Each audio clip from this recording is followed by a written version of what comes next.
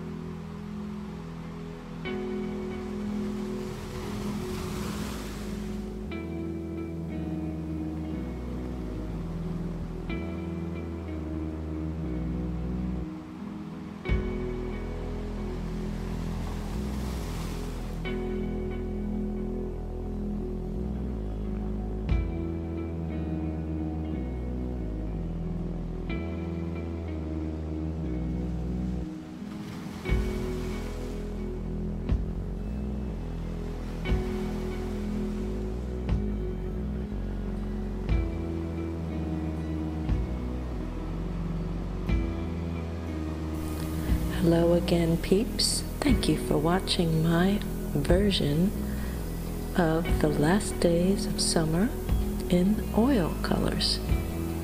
It's been fun. I loved working it. Thank you so much for watching. Bye for now. Peace be with you.